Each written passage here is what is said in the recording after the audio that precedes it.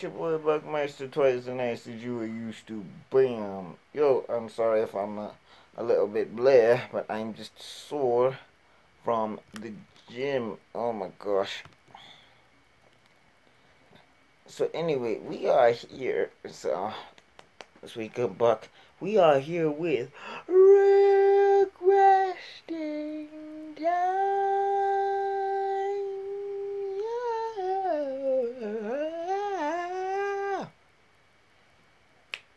Reason I am singing is because we are here with Beyonce's Lemonade and the truth behind Beyonce's Lemonade. So, link in description down below. Please go check this out. This was a request from Cedric Abum or Cedric ABM. So, um, yeah, man, happy to do this request for you. Let's do it. Let's go. What's up? There we go. Sean. Sean! Ah, Sean! Sean!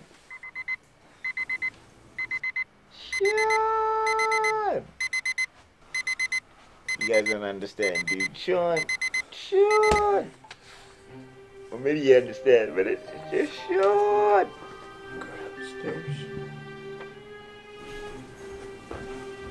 I'm only resting on this pillow because, yo, my back is on fire, but whatever. Scoop the dirt. Scoop the dirt. Dirt. Take the dirt back upstairs? Man, it was so cool to see Sean. You, yo, y'all don't even Please know, check boy. on Or maybe you dirt. do know, you know what I'm saying? Okay. Now what is it?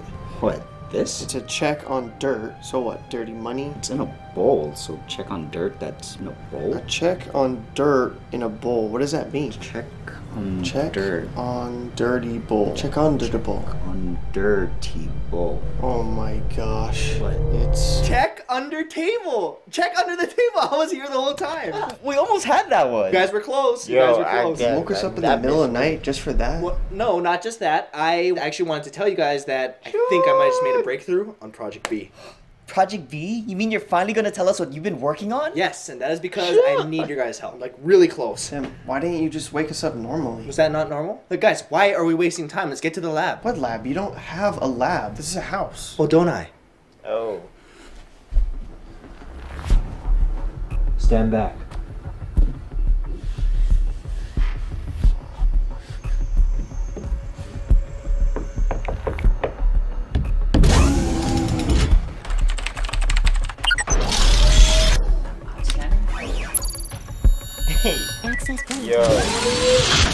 Awesome.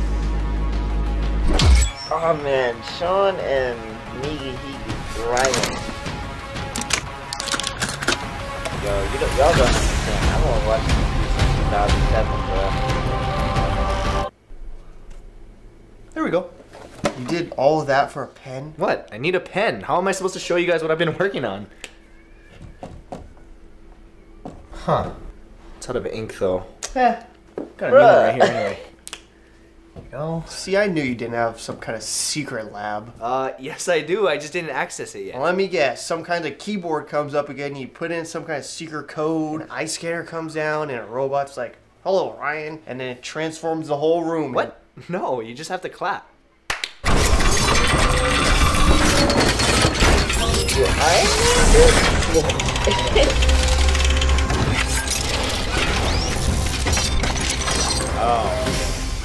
Hello, Ryan. Lemonade? Anyone? Not bad. Actually, can I just come back? I kind of have to use the bathroom. Just pee in a cup. That's what I've been doing. What the heck is wrong with you? Why don't you just go to the bathroom? It's right there. I told you I've been working nonstop this whole time. I don't got time for pee breaks. Well, actually, I don't have to pee. It's my stomach. Kind of hurts. No, then that's all the more reason you should have some lemonade. It's good for your stomach. Really? So as you guys know, our past investigations have gone very successfully as, you know, figuring out the truth behind Miley Cyrus and of course proving the Illuminati is real. But now we've been asked to investigate another mystery. The mystery of Beyonce's Lemonade album. How is that even a mystery? It's just her album. But this album is completely different. See, nobody knows what this album is about. There's a lot of different theories. Some people believe that this album is about infidelity and how Jay-Z cheated on Beyonce. But at the same time, some other people say, well, if he really did cheat on her, why are they still together? And more importantly, why did she release her songs on Tidal, the platform that Jay-Z himself owns? And why is it even called Lemonade? There's no explanation for that. Some people believe that Okay, we get it. There's a bunch of conspiracy theories, but this better not be one of those Illuminati things. Oh no, in fact it's the complete opposite. See, last time we talked about the Illuminati, we started with apples. Because apples are by far the most popular fruit. They're eaten by children and adults, they're used in schools to represent our teachers. All of our technology comes from apple. Even the Bible speaks about apples in the story of Adam and Eve. Yet all of a sudden, in less than a month, nobody's talking about this powerful fruit because there's another fruit on the rise. The rival to the apple, the complete opposite. Oranges, like apples and oranges. Nope. What about bananas? I eat more bananas than anything. See, that's what I thought at first. Oranges and bananas are way more popular than lemons. So why did Beyonce choose lemons over all the other fruits? Because of the letters. See, orange and banana, six letter words. They don't fit. Apple and lemon, both fives. But there's an even bigger hint that Beyonce left us that proves that there's more to this album than we all thought. What? She I'm named it legit trying to lemonade, figure not it lemons. out. So How- what? That's just juice. See, but it isn't. What? You see, every other fruit can be made into a juice, but not lemons. Apples become apple juice, oranges become orange juice, pineapples pineapple juice, kiwi juice, uh-huh. even tomato juice, but not lemons. Lemons become lemonade. Strange, huh? That is strange. Okay, fine. Let's say you're right and there's something more to it. Now what? We start with the most famous saying about lemonade. When life gives you lemons, you make lemonade. That's not the case here, is it? Because we're being given lemonade, not lemons. So. So Beyonce wants us to work backwards. You see, Beyonce has a crazy following, most of them girls, and they're so in love with her, they want to dedicate their lives to being her follower. In fact, they're so in love with her, they literally say things like, oh my god, Beyonce is life. And in this scenario, that's absolutely correct. You see, if we work backwards, when life gives you lemons, you make lemonade. But if Beyonce is life, it should be when Beyonce gives you lemonade, you make Lemons! Exactly. What? That doesn't make any sense. No, it doesn't. Not yet. What are the first things that come to mind when you say the word lemon? Sour. I don't know. Yellow? Right, sour and yellow. And if we continue to work backwards, the phrase you make lemons becomes lemons make you. What do lemons make you do when you bite into them? You squint because it's sour. Exactly. And when you squint, you look more like. An Asian? Oh. Dude, that's racist. Dude. When you squint, you look more like you're tired because your eyes are smaller. an Asian. Yeah, of course. And Asians are stereotypically known to be yellow. Just like lemons. And again, we continue to work backwards. Yellow backwards is Wally. WALL-E, like the Disney movie about the Earth coming to an end. You see, in that movie, we think that WALL-E is the only remaining individual on Earth, but there's another. And coincidentally, her name is Eve, just like Adam and Eve, who supposedly were the only two individuals on Earth as well. And since Eve is obviously Eve, then Adam must be WALL-E. And since WALL-E is actually Wally, yellow backwards, what they're really saying is that Adam is yellow. Yellow atom. A yellow atom. In chemistry, you learned that CPK coloring is used to distinguish atoms by color. And the color yellow is assigned to sulfur. And sulfur is an atomic number of 16, and it also smells like rotten eggs. However, if you smell rotten eggs and you're not near a volcano, chances are it's just somebody's rotten egg fart. And since eggs are measured in dozens, coincidentally, the same number of songs on Beyonce's album, if we take the atomic number of 16 and count out all the songs, we come all the way back to the first song with a remainder of four. Track four happens to be the song named Sorry. But who else just recently had the biggest hit in the world named Sorry? Justin Bieber, who if you didn't know, recently just dyed his hair. Guess what color? That's right.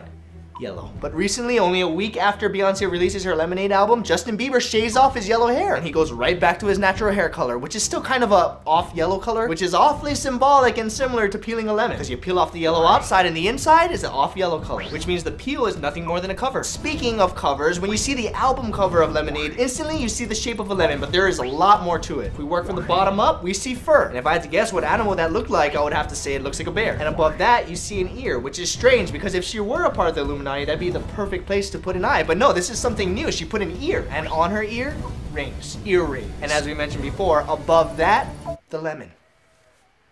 What, don't you get it? No. Bears, rings, lemons? Beyonce is bearing fruit. And bearing fruit for a tree means that it's growing fruits. But for a person, bearing fruit means that she's growing something else. And if you peel off the cover, what she's really trying to say, Beyonce is pregnant. See, that's what lemonade is really about. This has got to be one of the dumbest ones you've had so far. There's so many holes in this. Well, I didn't say I was done yet. There's more. Yeah, I told you guys I needed your help. I still haven't figured out what these are. Hey, you really think Beyonce's I pregnant? I don't see how lemonade could be about anything else. Well, if she really is, I don't think she should be drinking lemonade. Look how many carbs there are. 53 grams for one bottle? That's crazy. 53 grams for 3 grams for 3 grams? Oh my god. It's numbers. What? 53 grams. You said you said there's 53 in there. Yeah, 53 grams. 53 grams. 53 Grammys. Huh? Beyonce has the record for the most Grammy nominations. 53 of them. No way. There you go again, connecting two completely unrelated things. It's 53 grams of carbohydrates, not Grammys. Exactly, that's what's leading us to the next part. If we break it up, it's just car, bowl, hydrate. When you hear car, bowl, a bowl the size of a car, that's a really big bowl. And hydrate has to do with liquids. But if we're talking about a bowl, what kind of liquids do you put in a bowl? Lemonade. What? No, it's soup. Oh. Now you have a really big bowl of soup. No, a huge bowl of soup. a Super Bowl. The Super Bowl. Beyonce was the halftime show performer for two of them, Super Bowl 47 and 50. Wait, but she wasn't even really a main performer in Super Bowl 50. She was just in it. There's kind of a big difference. Oh, there's a difference, all right, but it ain't that big. What? The difference between Super Bowl 50 and 47 is three. And three is her magic number, one might say. How so? Beyonce's 34, Jay-Z's 46. When we add their ages together, we have 80. Okay. If we take our magic number 3 and subtract it out of 80, we're left with 77. And 77, as we all know, is the product of 7 times 11. 7-Eleven. 7-Eleven, the hit song that Beyonce released three years ago. But if she planned this three years ago, why now? Because on the anniversary of 7-Eleven's release this year, Beyonce will be 35, and 77 minus 35 is 42. The exact age Jay-Z was when his Yo. daughter Blue Ivy was born. 42. What? What does their daughter even have anything to do with this? 7-Eleven was made for their daughter. Come on, if you really listen to the lyrics, wave your hands side to side, clap, clap, clap, clap it. My hands up, my hands up, I stand up with my hands up. It does sound like a children's song. Exactly, because 7-Eleven was disguised to be for us, but really it was just for their daughter. That's why the lyrics are so bad. Don't be saying that. Since this song is made for their daughter, don't tell me it's a coincidence that their daughter is four years old. Yet in seven years, she's going to be what? 11. Isn't 11 the exact number of songs that's on her album? Uh, no. You said it yourself. There's 12 songs. Precisely. See, there's 12 songs, but we got 11. We were almost there. We were this close. We were an inch away. Six inches to be exact. The only number in any of her titles, and it's six. The number six on her sixth album. Six is our special number, one might say. But I thought you said 3 was our special number. But no, three is our magic number, because it's half of six. You see, if we take it from where we left off at 11, we multiply it by our follow special number this. of six, Oh my we end God. up with our final number. Uh-huh. 66.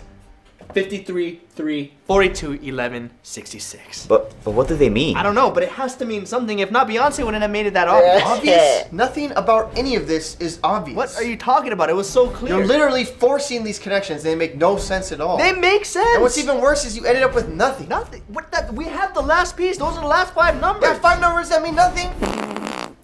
Oh my god, seriously? That's a bad one, dude. Sorry. I told you I wasn't feeling well. Dude, what the heck did you eat? It smells like rotten egg. No. That's it. Huh? Rotten eggs. Sulfur. They're elements. All of them. 53, 3, 42, 11, 66. The atomic numbers. Three is lithium. Iodine, lithium, molybdenum. Molybdenum, sodium, dysprosium. It's a formula. It all makes sense now. What does? Everything. Why Beyonce made an entire album bashing her husband, a man. Why the majority of Beyonce's songs are all about and for women. Even why there's an ear on the album cover instead of an eye. Beyonce is giving birth but to an idea. No, a group, no, an army of women to take over the world. what? And it's all starting with that formula. Sean, check that lemonade bottle. Iodine, lithium, M- Minneapolis. It's it's all here. Let me see that. See, it's already begun. But we've been drinking this lemonade. Exactly. Look at us. We're fine. yeah, for now, who knows what's gonna happen later? Look, this is so stupid. How do you even come up with these ridiculous conspiracy theories? Do I really have to spell this out for you? Look at the abbreviations. See, this is not about the Illuminati. The Illuminati is ran by men. See, Beyonce is starting something new. She's giving birth to a new group of powerful women to not just take over the world, but the previous Illuminati as well.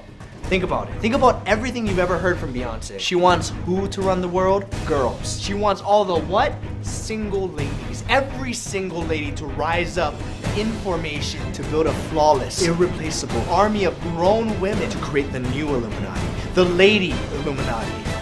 The Illuminades. Either that or she's just pregnant. Look, 10 minutes later, we're all drinking lemonade and we're still fine. But are we though? Well, wait, how come I didn't change?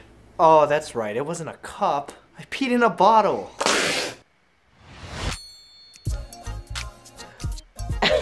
The illumination. Man, I love videos like this. Oh my gosh. Th- thank you, thank you, Cedric. Thank you. Uh, I'm kind of shocked that as a as a Niga Higa fan, like super fan, I haven't seen that video. But anyway, uh, yeah, please leave requests down below. I try to get to all the requests if I can. uh, And um, yeah, so let me know what you guys want me to react to if you have any suggestions. I love your suggestions. And if you guys like this video, please like, share, subscribe. And if you did not, that is your business. And I'll see you on another video because my stomach's gotta be out. Peace up.